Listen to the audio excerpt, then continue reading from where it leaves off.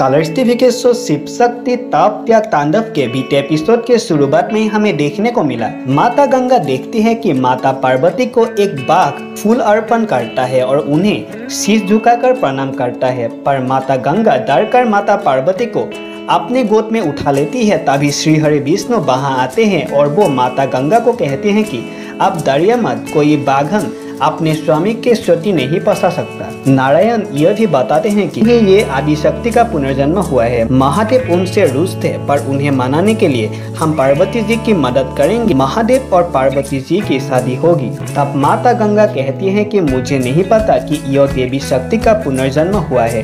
वो महादेव से प्रेम कर बैठी तो नारायण कहते हैं कि प्रेम करना कोई गलत बात नहीं है। आप देवी शक्ति और महादेव की प्रेम कथा में अहम भूमिका निभाएँगे। नारद जी कहते हैं कि इसलिए नारायण ने उनके हाथ पर रुद्राक्ष का कंगन पहनाया है। नारायण कहते हैं कि हमें पार्वती जी को शिव भक्त बनाना होगा।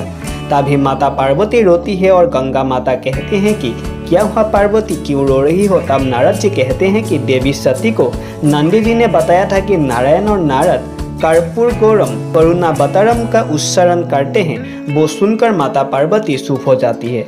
वही माता पार्वती बड़ी हो जाती है और वो भगवान शंकर का अभिषेक करते, पूजा करती है, तभी वहाँ तारकासुर का गुप्तचर पहुँच जाता है और वो खबर तारकासुर के पास लेकर पहुँच जाता है। और वो शक्ति का पता बता देते हैं, तब तारकासुर कहता है कि इतने वर्ष से हमें पार्वती को ढूंढ रहे थे, अब वो हमें मिल गई है। अब मैं उसे मृत्यु के घाट उतार दूँगा। वही तारकासुर, एक गुप्तेश्वर को ये खबर लाने के लिए खुशी में पुरस्कार देता है और वो कहता है कि, आप मैं जाता हूँ, लेकिन पार्वती को मारने पर असुर माता दीति उसे रोकती है और कहती है कि, ये काम करने से पहले सोच विचार कर लेना चाहिए। वो चाहता है कि वो तो एक कन्या है।